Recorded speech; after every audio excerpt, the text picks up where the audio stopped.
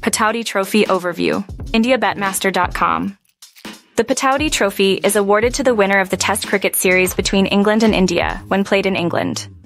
First introduced in 2007, this trophy honors the legendary cricketing Pataudi family.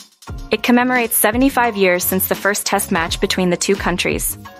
The trophy, designed by Jocelyn Burton, symbolizes the fierce rivalry between these cricketing giants. Named after the Pataudi family, which produced cricketers who represented both India and England, the trophy is awarded to the series victor. Over the years, the Pataudi Trophy has become a highly anticipated event for cricket fans and bettors alike. The rivalry dates back to 1932, with England dominating in the early years, although India secured their first win in the 2007 inaugural Pataudi Trophy Series. The series typically consists of five test matches, and the structure can vary based on cricket schedules and external factors like broadcasting deals.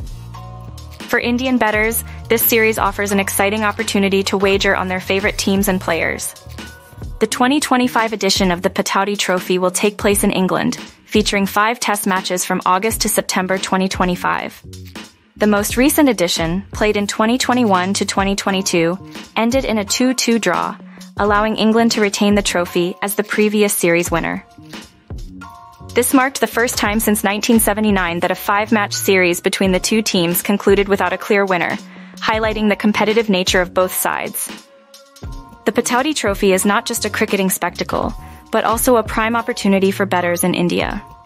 With multiple platforms available, Indian fans can engage with their favorite teams while placing informed bets throughout the series. For more details on cricket and betting, visit IndiaBetmaster.com. Don't forget to like, share, and subscribe to our channel for the latest updates.